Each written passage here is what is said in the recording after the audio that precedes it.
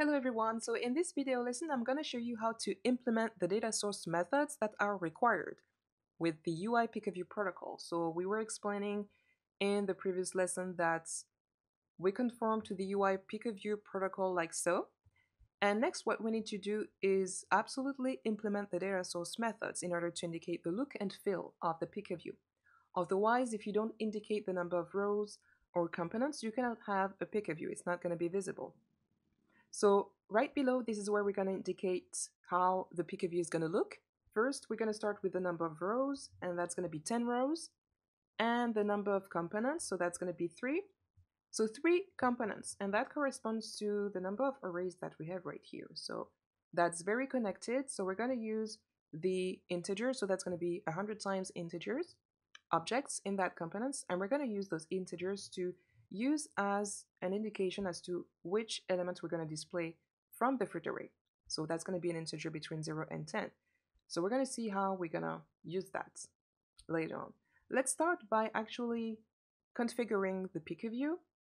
And we're going to go to that method, picker view, so that's going to be view for row.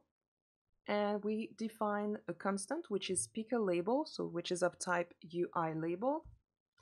And we're going to start by just an as an example, configure the first component of that picker view. And we're going to use the fruit array. So we want to display an emojis, an emoji from that array. And we're going to use the first component, which is going to be component one. And we're going to use, so for the index, we're going to use row, which as you can see is a parameter from this picker view system methods and that's going to respond to the row that we're at. So that's going to use the row number, which is going to be between 0 and 10, to return an integer, and which is going to then be used also as an index for the fruit array. So let's just see how this looks. And here you go. So now we return this fruit for this fruit array. So what we're going to do is then display also fruit for the other components. And for that, we're going to use a switch case because we want to return a specific fruit array depending on which components that we are. So we're going to use a switch. And for the comparison, we're going to use components. So this is what we want to compare.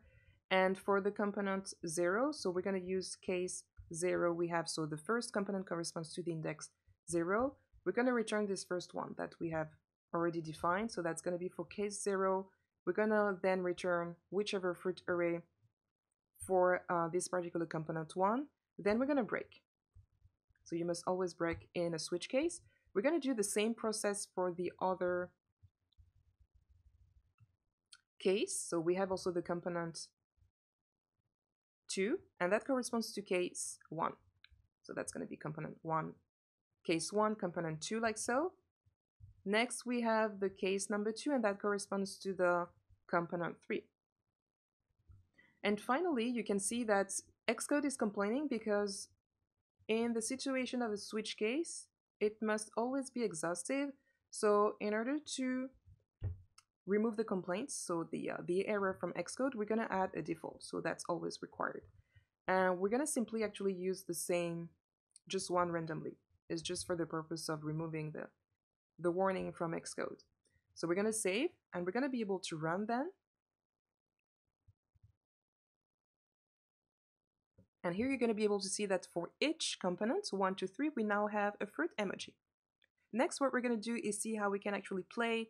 So start the spinning wheel in order to spin the wheel and display different emojis every time we press on the play button.